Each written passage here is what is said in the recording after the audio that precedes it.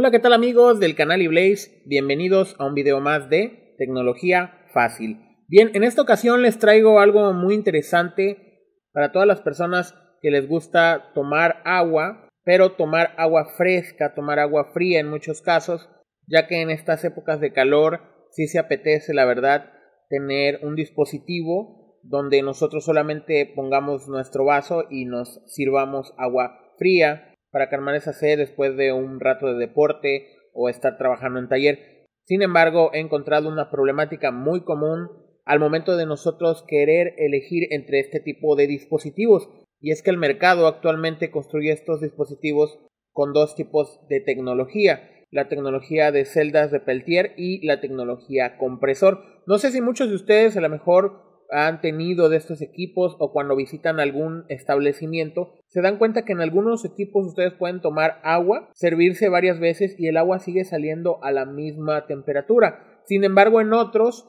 después del segundo vasito que ustedes se sirven, el agua ya no sale tan fría como al principio. Y esto es debido a que, como comento, con estos dos dispositivos existen dos tecnologías que sí difieren mucho en su funcionamiento. Entonces en este video les voy a compartir cómo funciona esto y cómo pueden ustedes elegir el mejor equipo en base a esta información. Entonces vamos allá. El primer sistema que les voy a presentar es la celda de Peltier. La celda de Peltier es una plaquita como la que están viendo ustedes aquí en pantalla, esta de aquí, que lo que hace a partir de funcionamiento electrónico, que por un lado desprende calor y por otro lado da frío. Esto debido a una reacción electrónica que lo que hace la celda es se desprende del calor absorbiendo la temperatura externa. Entonces, a través de un sistema electrónico, al inyectarle energía al paso de la energía, lo que hace es generarnos este efecto, el cual se utiliza para enfriar el agua a través de un disipador de calor. En este caso le ponen una plaquita de aluminio, como la que están viendo ustedes aquí, y la placa de aluminio la pegan a una tubería por donde es donde pasa el agua. Entonces, ¿qué sucede? Al nosotros tener esta plaquita dentro de nuestro enfriador, simplemente se va a lograr enfriar el agua que hay en la tubería, o sea, en el, en el pequeño tramo de tubo y si nosotros extraemos esa agua dentro del tubo, pues simplemente ya no vamos a tener más agua fría. Por ejemplo, aquí en esta imagen pueden ver ustedes cómo es que utilizan estas celdas para refrigerar el agua. Aquí vemos que la tubería es un pequeño cuadrado tiene una entrada, tiene una salida y de esta manera los equipos más económicos enfrían el agua. Entonces, como vemos, el sistema utiliza una buena fuente electrónica para alimentar estas celdas y que enfríen a su vez el agua. Este es el primer sistema que encontramos dentro de muchos enfriadores de agua, pero como ya vimos, no es muy eficiente que digamos. El segundo sistema que vamos a encontrar en estos dispositivos para enfriar agua es el sistema de compresor. Este es el sistema bueno. El sistema de compresor, valga la redundancia, es un pequeño motorcito que comprime gases refrigerantes que por lo general rodean a un recipiente de acero inoxidable dentro de nuestro enfriador y este recipiente almacena de 3 a 4 litros de agua, lo que nos permite que al momento de que nosotros nos servimos agua,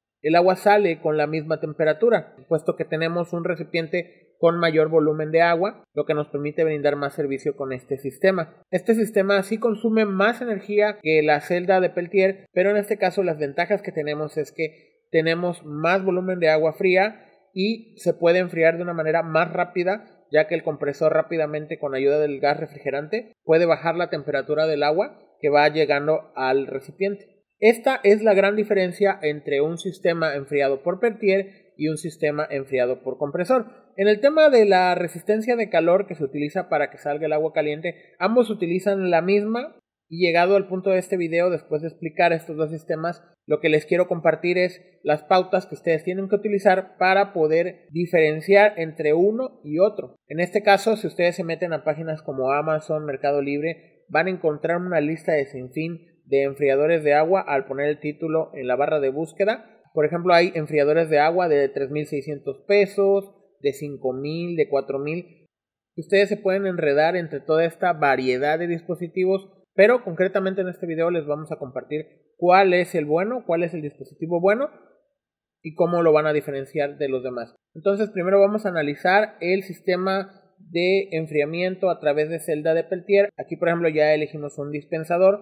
Vemos que tiene un precio de 2.840 eh, el modelo es EAM06. Por lo general este tipo de dispositivos lo comercializan los chinos, ya que las celdas de Peltier son componentes electrónicos, ellos son muy buenos en mitigar precios en componentes electrónicos y para ver si es el sistema a través de compresor o a través de celda de Peltier, nos vamos a ir a la parte de o al apartado de características de producto. Aquí, por ejemplo, vemos los datos generales, vemos los materiales, las dimensiones y van a poner ustedes especial énfasis en la parte de capacidad de refrigeración. Por ejemplo, vemos que este dispositivo solamente está refrigerando 1.2 litros por hora tiene capacidad de calentamiento de 3.5 litros por hora. Este al parecer sí es un dispositivo que usa compresor, ya que este es una buena capacidad de refrigeración. Por lo general el dispositivo que utiliza compresor refrigera a un ritmo de 2 litros por hora.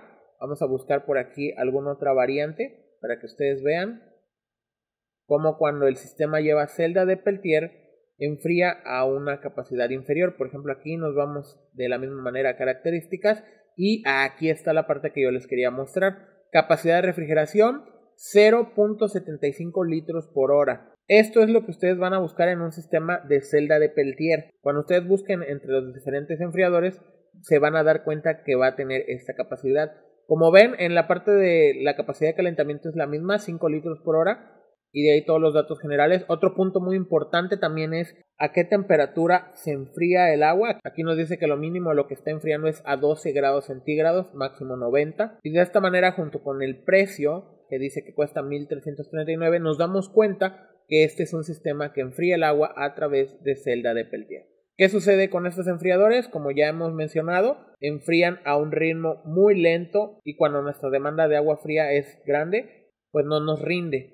Entonces vamos a ver algún otro enfriador de los que encontramos acá. Y por ejemplo vamos a ir a un enfriador de estos caros, por ejemplo los de 5 mil pesos, que por lo general son caros tanto por la marca, el diseño. Miren por ejemplo aquí este enfriador tiene el, el garrafón dentro, lo trae oculto, no viene por arriba. Entonces este enfriador trae una bomba de agua para poder subir el agua hasta el sistema de enfriamiento o el sistema de calefacción y vámonos directamente también a la ficha de características técnicas. Aquí vemos que este enfriador nos está llevando el punto más bajo, el agua, a 5 grados. Aquí vemos la capacidad de refrigeración que precisamente es de 2 litros por hora, como ya comenté. Este sistema trae compresor. Entonces podríamos decir, tanto por el precio como por estos dos datos, la temperatura a la que enfría y la capacidad que este sistema utiliza un compresor. Van a decir ustedes, bueno, ¿y por qué nos estás dando todos estos datos? Que no el fabricante pone precisamente qué tecnología utiliza el enfriador y es aquí donde les digo que no. En muchos sitios web no viene esta información que diga que el dispositivo trabaja con un compresor o que trabaja con celdas de Peltier. Entonces, este sistema, si se dan cuenta de 5 mil pesos, pues sí cumple con las características, pero se está elevando mucho su precio. Incluso hay algunos dispensadores que son todavía más caros, pero esto es debido a que utilizan otros sistemas internos, por ejemplo, para purificar el agua, utilizan un compresor más grande. Aquí vemos un enfriador de agua Mave EBL blanco. Vámonos a las características. Y aquí vemos igual mismo patrón. De hecho, este enfría un poco más.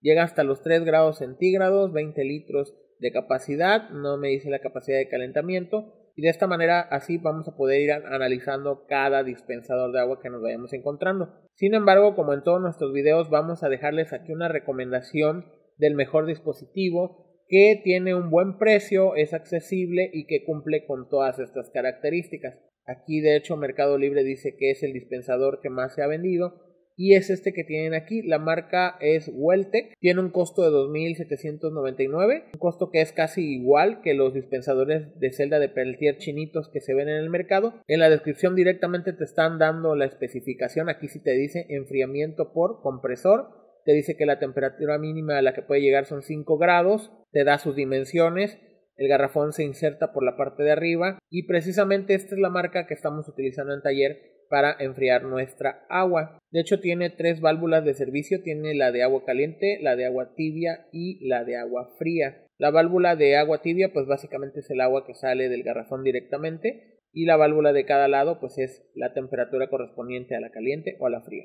Esta es nuestra recomendación desde el taller. Si a ustedes les gusta disfrutar del agua fresca, del agua fría, espero que con la información que ya les compartí ustedes puedan tomar una buena decisión al momento de comprar esta clase de dispositivos. Otro punto desde una perspectiva técnica es que los dispositivos de compresor duran mucho más que los de celda de Peltier, ya que la celda de Peltier tiende a desgastarse más.